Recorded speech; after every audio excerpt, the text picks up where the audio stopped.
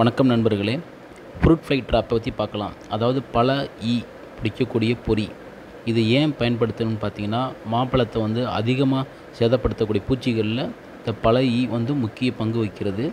அதை பற்றி இன்றைக்கி பார்க்கலாம். கட்டுங்க.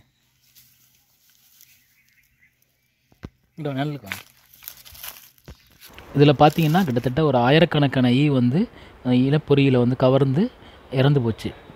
இந்த இதெல்லாமே வந்து பழைய ஈல வந்து ஆண் வகையை சார்ந்தது.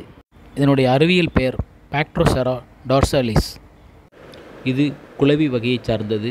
பெண் பூச்சிகள் தனது இனத்தை பெருக்குவதற்காக மாம்பழத்தின் மேல் தோலில் சரியான இடத்தை தேர்ந்தெடுத்து அதில் நான்கு முதல் பத்து முட்டைகளை தனது கொடுக்கின் மூலமாக உள்ளே செலுத்துகிறது.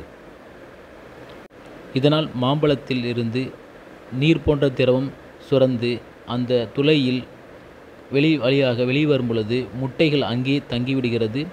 நீர் போன்ற திரவம் காற்றில் காய்ந்து முட்டைகள் அங்கே இருந்து விடுகின்றன தங்கிவிடுகின்றன. இதனால் மூன்று தினங்களில் முட்டைகள் புழுவாக மாறி மாம்பழத்தை அதிகமாக சேதப்படுத்துகின்றது. இந்த குளவிகள் வாழ்நாளில் ஆயிரத்தி இரநூறு முதல் ஆயிரத்தி ஐநூறு முட்டைகளை இடுகின்றன. இதனால் பழங்களில் மாம்பழம் மட்டுமல்லாமல் சப்போட்டா கொய்யா பப்பாளி போன்ற பழங்களில் அதிகமாக சேதத்தை ஏற்படுத்துகின்றன.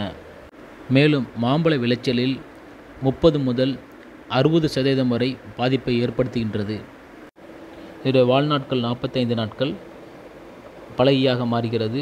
முட்டை பருவத்திலிருந்து எட்டு நாட்கள் ஆகிறது.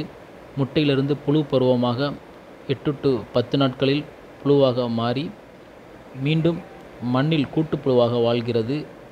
கூட்டுப்புழுவாக இருந்து மீண்டும் பல ஈயாக உருமாறுகிறது.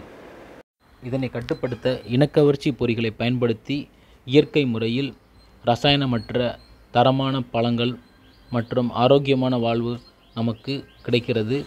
இதனால் ஃப்ரூட் ஃப்ளை ட்ராப் பயன்படுத்துங்கள். அமோகம் டிவி சார்பாக நண்பர்கள் அனைவருக்கும் வாழ்த்துக்களின் நன்றியும் தெரிவித்துக் கொள்கிறோம். நன்றி வணக்கம்.